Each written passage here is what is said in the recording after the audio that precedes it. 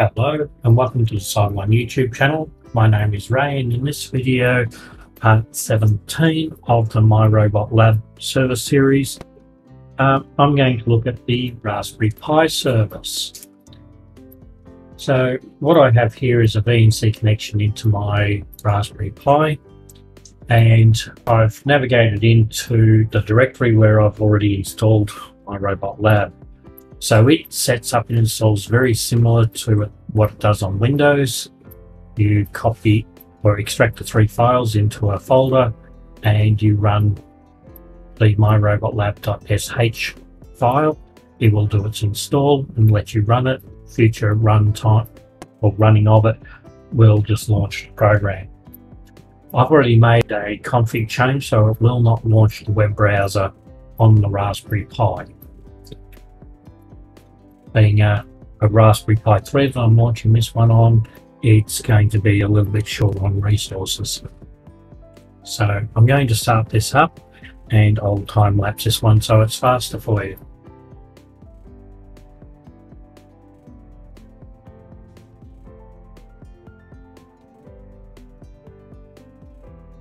Okay, so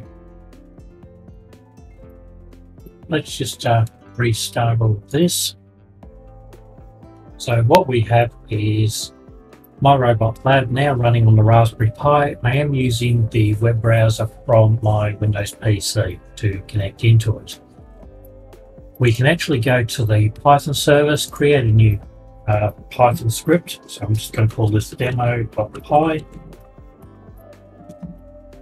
And in here, I'm going to print uh, runtime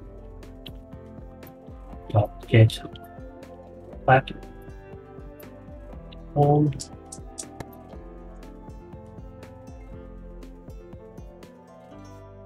execute that and it tells us it's running on an ARM processor with Linux.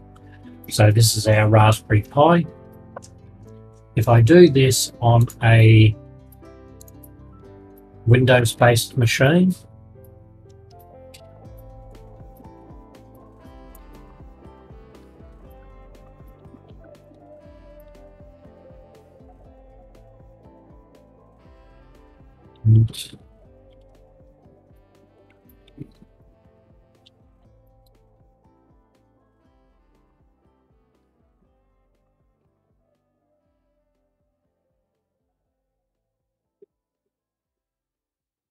you can see here it actually shows that we're running on a x86 64 Windows machine. All right, so let's move on to runtime and we'll go Raspberry Pi. The service I'm looking for is the Raspberry Pi service and we will start that. If we go to the Raspberry Pi service, it'll show us a list of all of the GPIO pins that we have. These are now working for the most part. Uh, but we'll probably end up removing GPIO 0, 1, 2 and 3 because these two are reserve pins that are also used by the camera, the onboard connector down here. So if you connect a camera, they will become an issue. And these two are used by the I2C service over here. So we're going to be using those. We don't want to be playing with those either. I have actually tested most of these and they are actually working quite well. We can actually uh, connect wires and watch these. So at the moment you can see all of these are selected as right. So if I select GPIO 17, which I happen to know is, actually let's just look it up. This first pin after the ground connection on the end here. So if I grab a, a wire, connect that to a 3.3 volt connection, which is four pins up.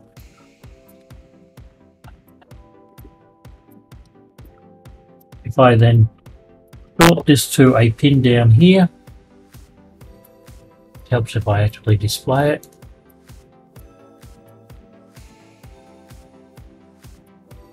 You can see that GPIO 17 is changing from 0 to 1. We can actually go to OSCOPE, select, we have it on, and you can see it changing up and down as I short the pin. Now that display is back to front. Uh, what it's actually doing is going from low to high, but this is showing high to low. But at least it's still working and we can read that through the Python scripts as well. More importantly for us, go back to pins.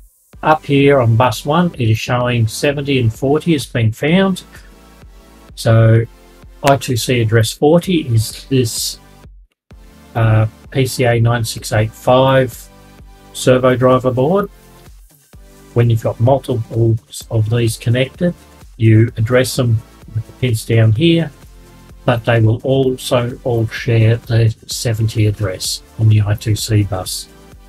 It is a broadcast broadcast address, so you can turn them all on or off at the same time. So we'll demonstrate that working. So I'm going to call this PCA. It's the Adafruit 16C servo driver. Start that. Connect that to the Raspberry Pi and attach. It is on bus 1, it is on address 40.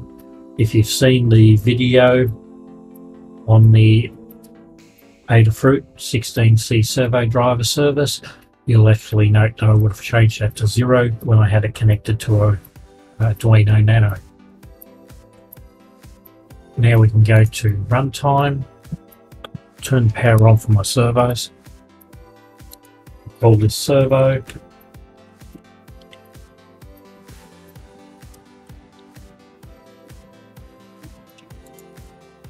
start the service, go to servo, we'll select our controller as PCA, pin 0 because I've connected it into the first port, attach,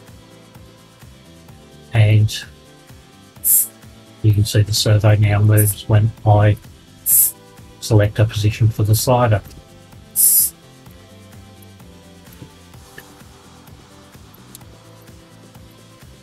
Okay, that'll do for this video. If you like these videos, don't forget to click on like, subscribe, and ring that notification bell. It's a form of support that helps the channel a great deal and costs you absolutely nothing.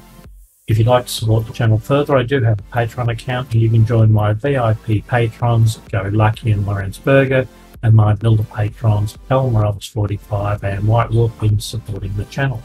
If you have any questions, there are links to both the YouTube channel's Discord server and MyRobotLab's Discord server. Feel free to come in and ask any questions or just join the community. And we'll see you in the next video.